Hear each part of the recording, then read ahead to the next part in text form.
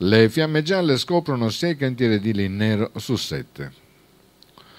Un quadro desolante, quello del lavoro nero che in certi settori economici e produttivi è dilagante. Le fiamme gialle della compagnia di Augusta hanno effettuato una specifica attività di monitoraggio nel settore delle costruzioni edili particolarmente incline alla presenza di manodopera irregolare e spesso caratterizzato dall'assenza di qualsivoglia sicurezza anche contrattuale per i lavoratori.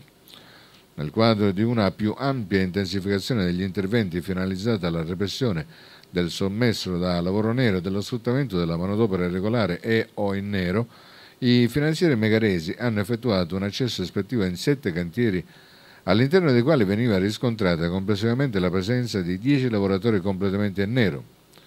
Ulteriori approfondimenti chiareranno la regolarità delle ulteriori posizioni rinvenute sui cantieri. Uno di questi è risultato essere peraltro percettore di indennità di disoccupazione.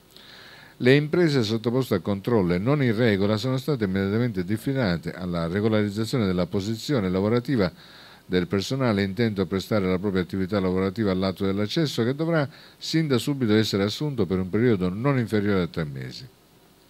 Nei confronti delle predette è stata inoltre proposta la sospensione dell'attività all'ispettorato del lavoro e contestata la sanzione amministrativa che va da 1.800 a 10.800 euro per ciascun lavoratore regolare che non abbia superato i 30 giorni di lavoro effettivo.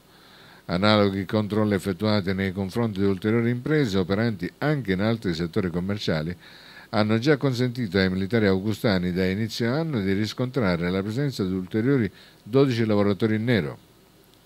Le odierne attività testimoniano l'incessante impegno del corpo nella tutela dei lavoratori a contrasto del lavoro irregolare che altera il regolare funzionamento dell'economia imprenditoriale e della corretta concorrenza sul mercato.